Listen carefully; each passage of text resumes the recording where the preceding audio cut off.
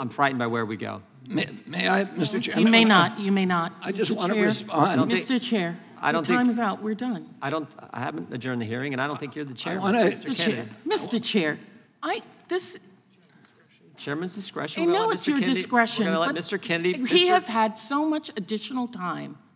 Well, I think everyone's had Why? additional time. No, and we're gonna Why? get- Why are you doing that specifically because- for him? Because I we just don't. want to opposed to other explain, people.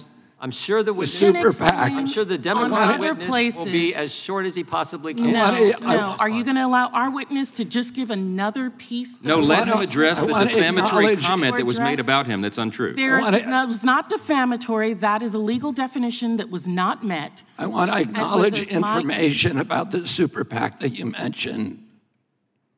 Go ahead.